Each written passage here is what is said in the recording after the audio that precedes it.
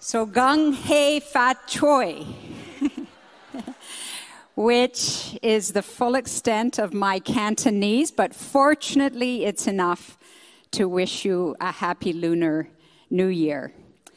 And I know a number of our children are down at the parade in Chinatown today, which is where I would be if I wasn't here. But for those who are here, I'd like to invite you to join me up here at the front. I find that the children are actually my best teachers, of course, when it comes to uh, mainstream culture. And the Lunar New Year has actually moved in increasingly to, to mainstream culture. And so I've been learning a lot from the kids themselves.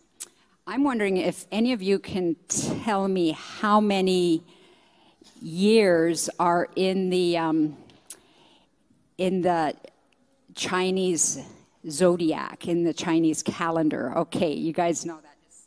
Twelve. okay, 12.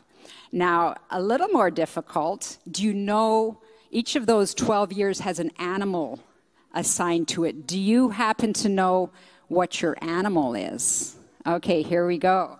Um, rabbit. Rabbit. Tiger. Dragon.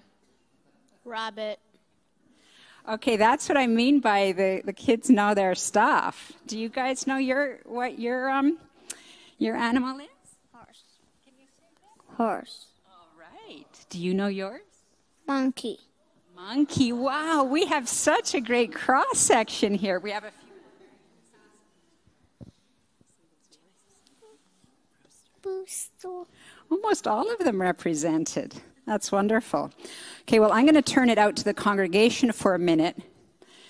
Um, those of you who are born in, in the, these following years, this is your year, an auspicious year for you.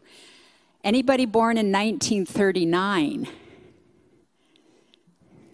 What about 1951?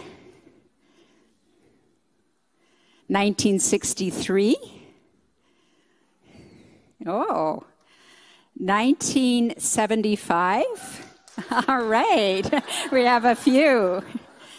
1987. Uh, we, that's some great. We're getting up almost into the millennial category. 1999. That's going to be our young adults. 2011.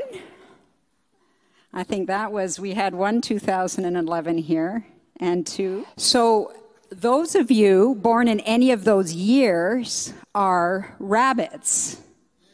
And this is what we know about our rabbits.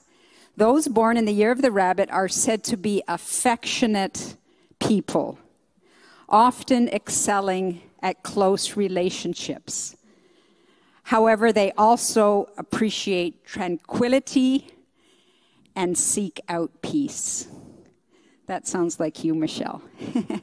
Very accurate. And Reed as well, and Nicholas.